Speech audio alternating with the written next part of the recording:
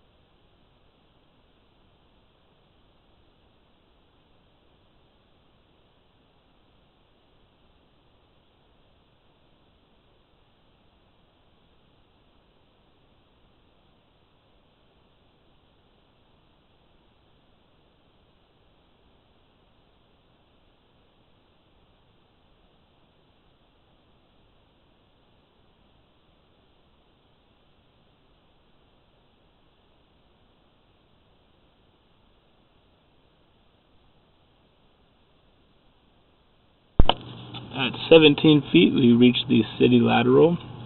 I'm going to continue to push the camera to the city main sewer line.